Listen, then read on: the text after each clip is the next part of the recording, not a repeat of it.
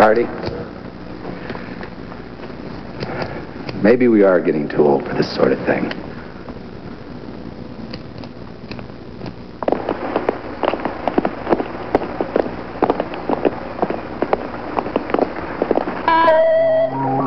What happened? Where are you? Right here, where are you? Right here. Right where? Here, handcuffed to you. We're invisible. James? Hmm. I think I got this thing working again. Let me have that thing, Artie. Sure. James! Now it's going to be lost in the Potomac forever. Good.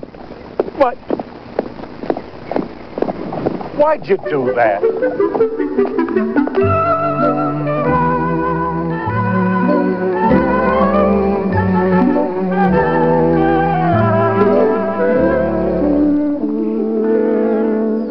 Washington is so lovely.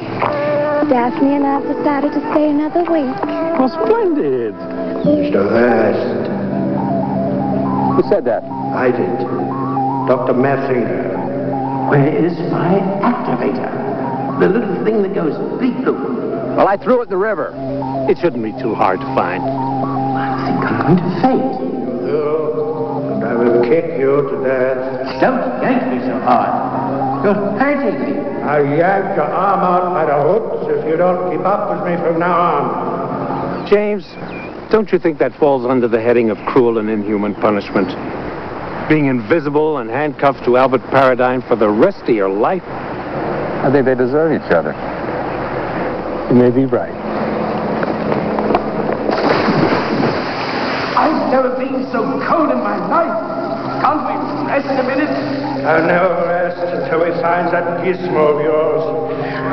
Here we go again. Now, please, H.L. I can't hold my breath as long as you've gone. Then you better learn to live without air.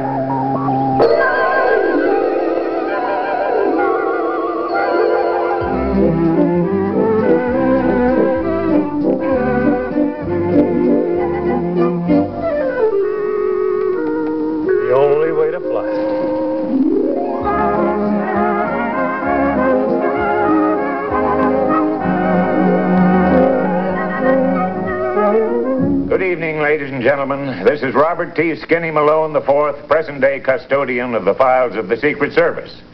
When one delves into the ancient files, one is struck by the improbability of these cases of James West and Artemis Gordon. The idea that a man could become invisible is obviously absurd. My apologies and good night.